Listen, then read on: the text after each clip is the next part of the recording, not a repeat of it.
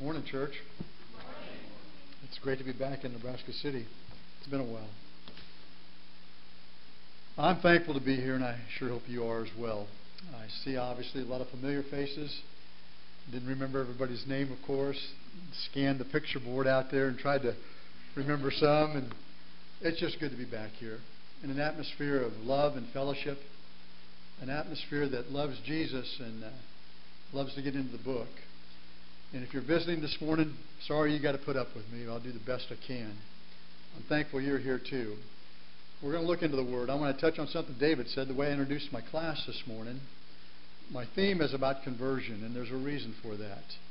I'll start it off the same way just so I keep up with myself here. I, I was born September 23rd, 1952. You all have your birthday as well.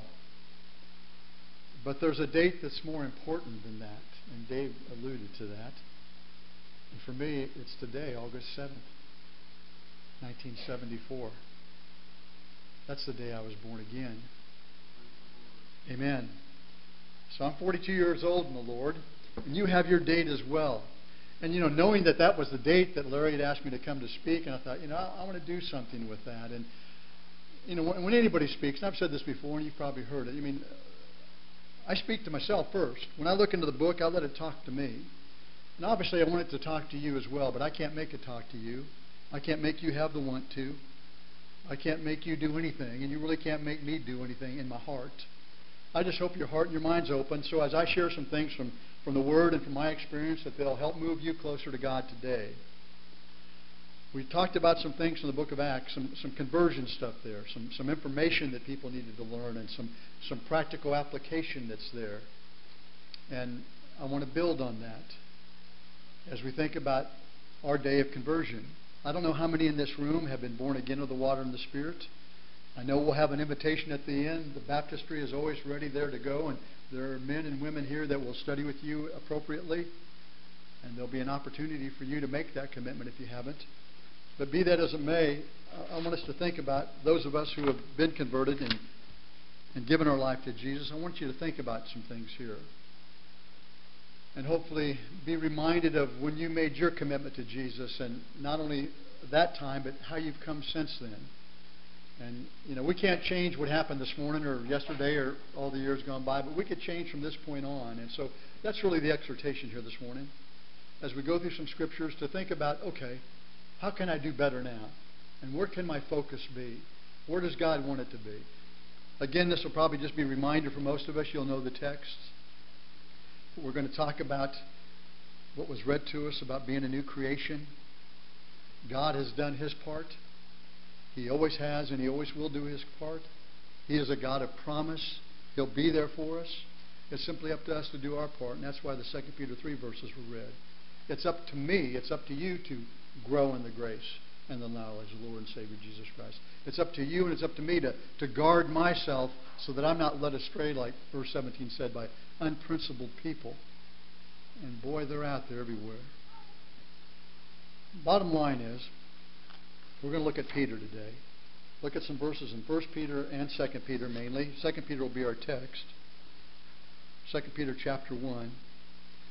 But I want us to remind ourselves of something that's really encouraging to me. I like the way Peter words this in 1 Peter chapter 1 when he lets us know what God has done for us because he loves us so and how it is that we are indeed a new creation. 1 Peter chapter 1, let's begin in verses 3 and read through 9.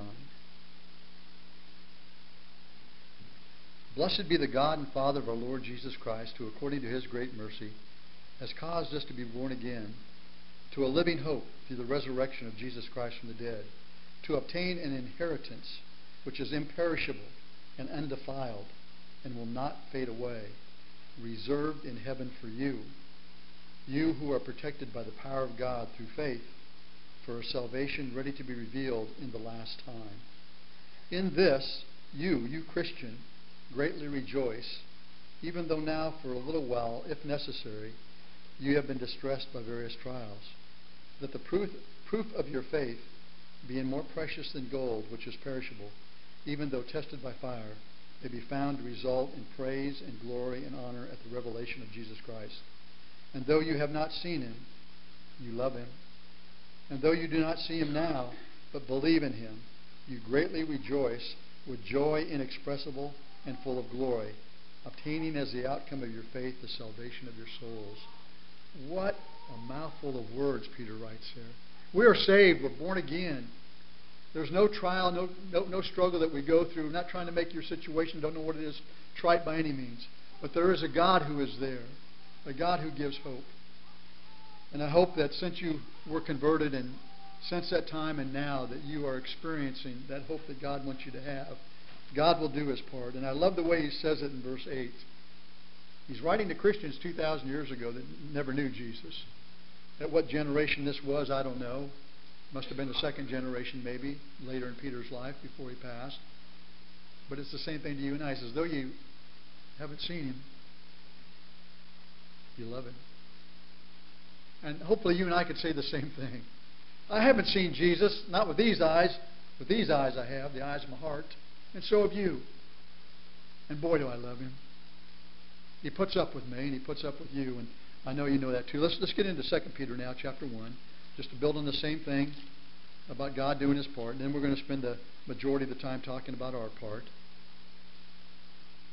Start in 2 Peter 1, verses 3 and 4. Well, let's start in verse 2, I guess. 2 through 4, 2 Peter 1. Grace and peace be multiplied to you in the knowledge of God and of Jesus our Lord, seeing that his divine power has granted to us everything pertaining to life and godliness, through the true knowledge of him who has called us by his own glory and excellence. For by these he has granted to us his precious and magnificent promises, in order that by them you might become partakers of the divine nature, having escaped the corruption that is in the world by lusts. God has done his part in Christ to redeem us. He saved us from ourselves. He saved us from the corruption that's in the world and all that that implies. This world doesn't offer us eternal life. Only God through Jesus Christ does. You know that, and I know that. But boy, are we tempted. Boy, are there stuff, is there stuff out there, and especially in the day and age we live in. It's all about making choices and making right choices, and you know that, and I know that. What I want to do now as we talk about conversion, I wanted to deal with the idea of conversion and growth. We talked about the initial things in conversion and some things that were there in our Bible class. But now I want to challenge myself and challenge you to think about applying verses 5 through 11. Good list here. You'll be familiar with it. You've studied your Bible before. And if you haven't, I want you to, to be encouraged by our, our revisiting these verses and make some notes in your mind, if not literally on paper, and, and use this as some devotional stuff today and this week as you think about your walk with God. And if indeed whether or not you are growing in the grace and knowledge of our Lord and Savior Jesus Christ. Here we go. Start in verse 5. We're just going to walk through this list in a very simple way, not going to give a whole lot of detail. We'll make some comments, though, just to, to challenge us. Here's what we do now. Here's what conversion is about and what growth is all about. It's about commitment. God has done his part. I've said that. What's my part look like from Peter's text here? I have to make a decision. If I'm going to grow, here's what I'm going to do. Verse 5. Now, for this reason, this very reason, what he just talked about God's grace in our life, God helping us, and so forth. For this very reason, also applying all diligence in your faith, here it is. Obviously, number one, we have to have diligence. We're in the faith, he says, supply moral excellence. What's moral excellence? Some translations say moral virtue, some say other things. But the first thing I need to realize is that when Jesus came into my life and he came into your life, it was to save us. Save us from something. Save us from all that's wrong. We all know the story of our first parents, Adam and Eve, and what they unleashed, the death that they unleashed. We've talked about that in years gone by. You've studied it on your own, too. There's a curse in this world that we can't take care of. We need outside intervention. God has done that in Christ. Through Jesus and modeling his life, we've learned how to live and how to love, and we'll talk about some of that as we go on here. But the point is, how do I grow since I've been converted? I've got to make the decision continually to learn about moral excellence, to educate my mind and my heart in a world that's so opposite. We live in a world that wants to define life as anything goes. In so many arenas, there's really no moral virtues other than what people think on their own. We know we don't live in a vacuum or in a void. It's not a matter of whether we have values, it's a matter of whose values. I, I don't need to go through all the depressing stuff going on in our country now, though I'll touch on some of it. You know, all, all the definitions of morality and about gender and about identity and all these things. Do we have enough wisdom here to make the choices about what the Bible says about these matters? Or am I trying to, you know, not only help myself, but as I try to help other people and be sensitive and at the same time be wise and be bold, be humble, yet be very out front with what the Bible teaches? Have I put moral excellence in my life? Is that something that's serious to me? We know that Jesus died for our sin. Dare we make a mockery of him by saying that, yeah, Jesus loves me and I can do whatever I want? Or have we come to the realization we have to make the right choices? There's a song we sing to our kids. I don't know if you sung it here. I've never been around your kids' stuff. I, I love watching the kids sing it. It's Be careful, little hands, what you do. You know that one? Be careful, little feet, where you go. Careful, little eyes, what you see. Be careful, little ears, what you hear. Maybe we could build on that.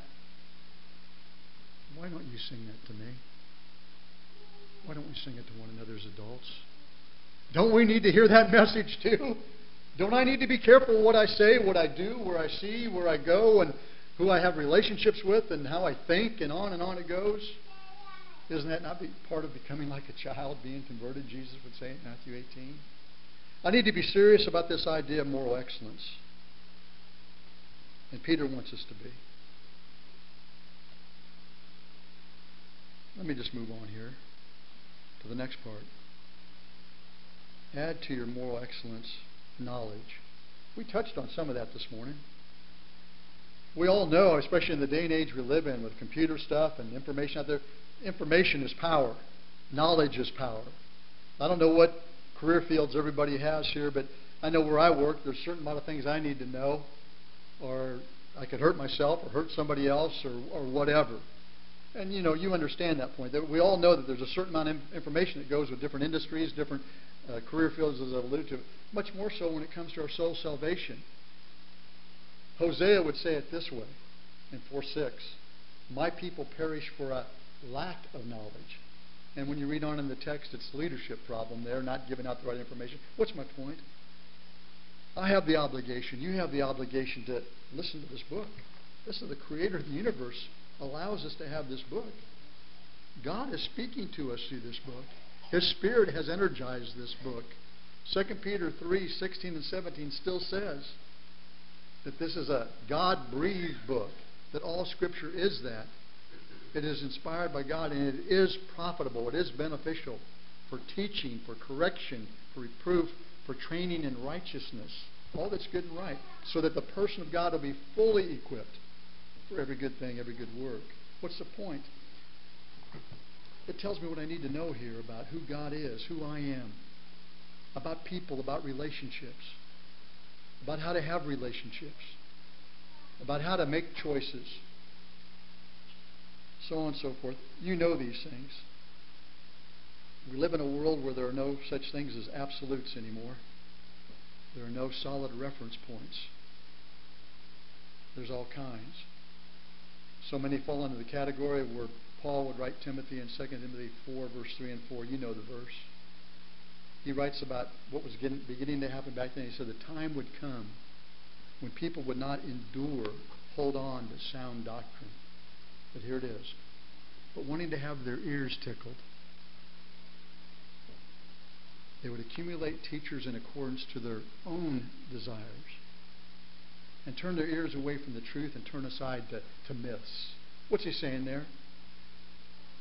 You and I, as human beings, just want religion our own way. We want definitions our own way. We want values our own way. Don't tell me what to do. Don't tell me how to do it. That's how we are as humans, unfortunately. But see, you and I know that because we're Christians. We have a different mind. We have the mind of Christ, Paul would write. We've also got the mind of the world because we've been there, done that. And we still understand it because we're still living with it. We're still struggling with it. But we've got two minds, you see. And we've got a book here that will feed that mind and keep us on that straight and narrow path if we believe it and apply ourselves to it. We touched on it this morning where Jesus said when he was tempted, you know what he said. A person does not live by bread alone, but by every word that proceeds out of the mouth of God. Soul food. I need it, you need it. Moral excellence, knowledge. Then what does he say here? Into your moral excellence, knowledge, into your knowledge, self control. You got that one worked out?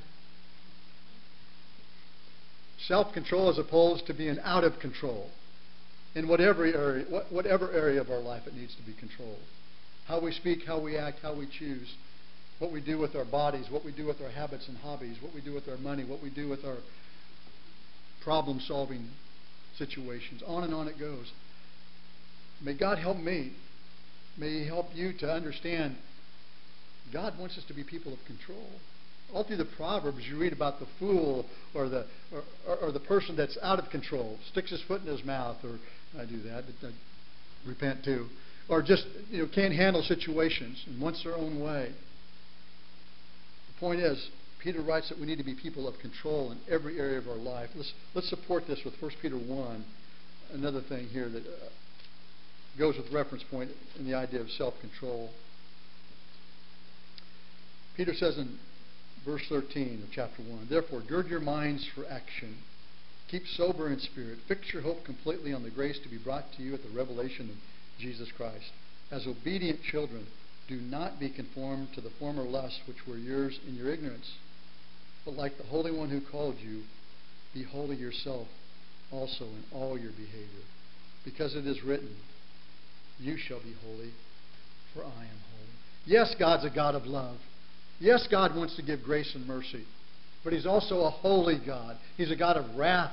He's a God of jealousy. He's a God that has the right to demand. And you and I have the obligation to obey. Just like it says in Genesis 1 26 and 27, that when God made the man and the woman, He made them in His image, it says. You and I are made in the image of God. Of course, we know the story. It got messed up and we're dealing with the struggle ever since. We still have the obligation to get refocused. And if we've been born again, if we have been converted, our lifelong journey is about becoming more and more like God and understanding what it means to be holy. Holy simply means separate. Separate like God is separate from that which is evil, that which is defiled, that which is sinful, basically. Again, we live in a world where there are no values, as I touched on. We live in a world that wants to define anything anyway. All right, let's get down to another area here, another attribute in my dedication to growth. Add to your self control perseverance, patience. I've been around some very, very patient people. And I've been very, very impatient in my life in many ways. This is not a pick and choose list I'm giving you and me here. We're to be about all this together in our lives. If I'm very serious about growing in the grace and knowledge of Jesus Christ, I need to grapple with am I a patient person? Am I somebody that's trying to keep trusting God, keep dealing with situations in my life, or am I somebody that loses self control, forgets about the knowledge and information I have, forgets about God loving me, or am I really trying to persevere Look what Peter says back in 1 Peter again. Let's pick up the reading in verse 12 of chapter 4.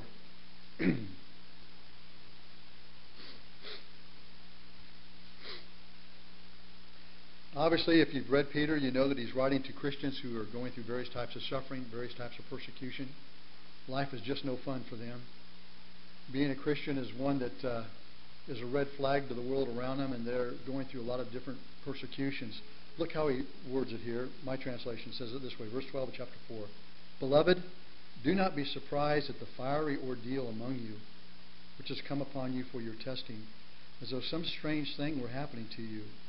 But to the, to the degree that you share the sufferings of Christ, keep on rejoicing, so that also at the revelation of his glory you may rejoice with exultation. If you are reviled for the name of Christ, you are blessed, because the Spirit of glory and of God rests upon you. By no means let any of you suffer as a murderer or thief or evildoer or a troublesome meddler. But if anyone suffers as a Christian, let him not feel ashamed, but in that name let him glorify God. For it is time for judgment to begin with the household of God, and if it begins with us first, what will be the outcome of those who do not obey the gospel of God? And if it is with difficulty that the righteous is saved, what will become of the godless one and the sinner? Therefore, let those also who suffer according to the will of God entrust their souls to a faithful Creator in doing what is right. Persevering. Life will not always be fair. Life will many times be tough. I, uh, uh, Dave mentioned the sports thing and made me think of the Olympics. I caught some of it. And on the PBS station, uh, one day this week, I caught the tail end of, obviously being Olympics week, they're doing past Olympic stuff, and they talked about the Olympics in 1936 that was in Berlin. And they talked about a, a man's rowing team from Oregon. But just like they were doing of some of the people, some of the countries that were being represented this year, this year's Olympics down in Rio, and, and some of the people, this 1936 Olympics, they did some profile of some of those people, and you talk about hardships. Talked about some of the, the, the, the birth and the life of some of these guys that were on the rowing team. The, the family rejection, the being passed around, the, the, the, poverty, the, the, the rejection in many areas of their life. And you think if, if anybody had a right to give up and be mad at life and mad at people, some of these people would be. And it's no different than that today in situations. What's my point? Life's not always fair. Life's going to be tough for all of us. And I know I've said it before, i got to say it again. I don't want to make your stuff be trite because I don't want you to make my stuff be trite. I got stuff I go through too. But I know I'm not going through anything like Jesus went through, and neither are you. But even if we do, let us glorify God. Let us persevere. Let us hang in there. Let us keep on keeping on. Because even if we live to be as old as Methuselah, 969 years, and I believe that, even if we live to be that old, and he did, he's been gone now for how many thousand years?